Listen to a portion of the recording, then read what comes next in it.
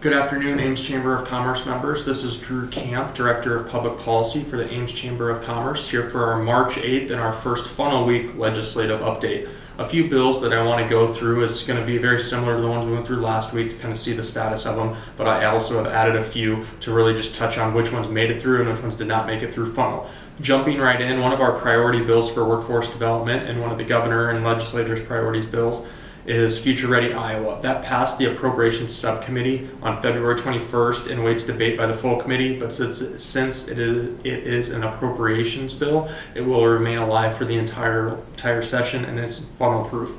Uh, we're hoping that it will continue to move forward and we expect it to. It had broad uh, unanimous support last year. We expect the funding of the uh, the two scholarship funds and innovation funds within that to be appropriated and receive full support this year as well the Empower Rural Iowa initiative, which is another priority of the governor and lieutenant governor, passed a House Ways and Means subcommittee on Wednesday, and as a Ways and Means bill, it is funnel proof as well. The bill will make changes to the broadband policy and state code, and it will also increase the amount of workforce housing tax credits available to rural areas specifically, and will make the workforce housing program competitive, which is definitely needed as they had a large backlog when they kind of just did a, a queued system, and that was an, a major issue for Iowa Economic Development Authority and applicants for the program.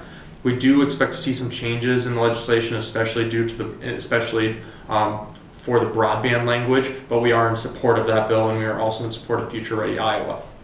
The SAVE bill for the school infrastructure sales tax penny uh, extension has been placed on the House Ways and Means calendar, remains alive for the remainder of session. We expect it to pass this session, unlike it did last session uh, when it did not make it at the very end of this uh, before adjournment. But we do expect that bill to pass this session, and we are for that bill as well. The remote worker bill is one I talked about last week as well. It hasn't seen any action since January 21st when the Senate Appropriations Subcommittee passed the bill, but that also as an appropriations bill remains alive for the remainder of the session. We're undecided on that, but really monitoring that and any other bills that would uh, increase population for the state of Iowa. Bioscience, bioscience-based economy bill. Uh, that passed the Senate Commerce Committee on February 11th and did make it through the first funnel. Wait debates, it awaits debate on the House floor, excuse me, the Senate floor. And we are undecided on that bill, but monitoring it because it has implications for Iowa State and uh, University of Iowa and a lot of the different entities within those um, specific institutions that deal with bioscience-based economies, all of which we are largely a part of, as that's one of our target industries. IWILL for water quality and the funding of the Natural Resource and Outdoor Recreation Trust Fund. That did not make it through the first funnel. It did not pass out of a House Natural Resources subcommittee or committee. Um, so it did not make it through the first funnel. We were undecided on that bill, uh, but it will not make it through to be considered for the remainder of session. The Section 179 cleanup bill, which deals with depreciation uh, for and bonus depreciation and offsets for companies that buy equipment and things along those lines, largely contractors, things like that.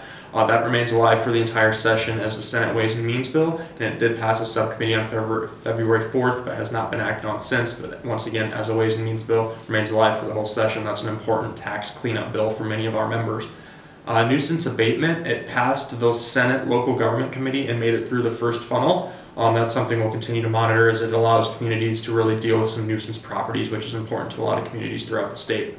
The alternative project delivery uh, passed the state government subcommittee on February 6th, but did not pass the full committee, so it did not make it out of the first funnel. We were undecided on that bill.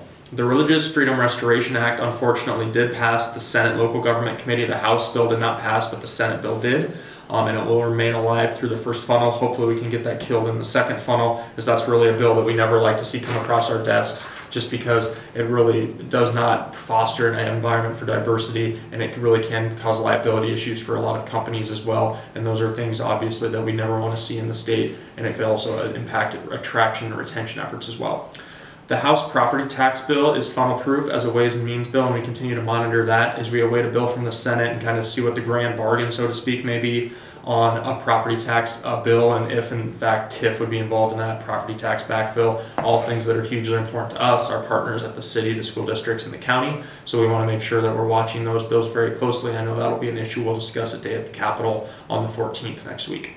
And then finally, the House and Senate land acquisition bills, that was something that came up uh, for quite a bit of discussion at our legislative luncheon last week. The House bill died in subcommittee on Monday. It did not make it out. That was the more expansive bill that uh, was even more concerning to a lot of counties and cities. But the Senate bill did make it through um, the first funnel, and it was amended in Senate Natural Resources and the Environment Committee on Monday. And what that will do, what the bill passed out of the committee will do, uh, will well, the original bill would have ended both the charitable contribution contrib- conservation tax credit and the use of the state revolving fund for water quality projects.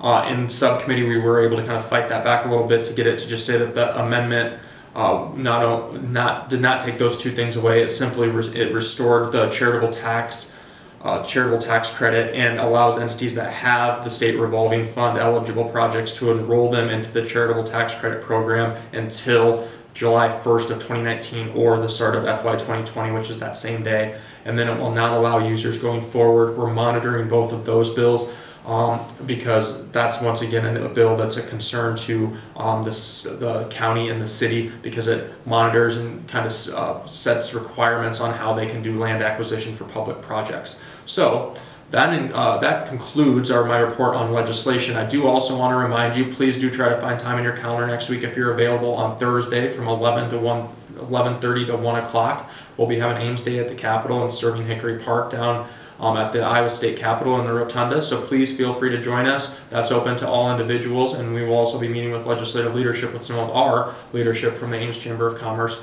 uh, on that day as well in the morning. So we look forward to that and hope that you'll be able to join us. And then also, if you're not able to join us today at the Capitol, we hope you'll join us back next week for our next uh, legislative update on March 15th. Thank you and have a nice weekend.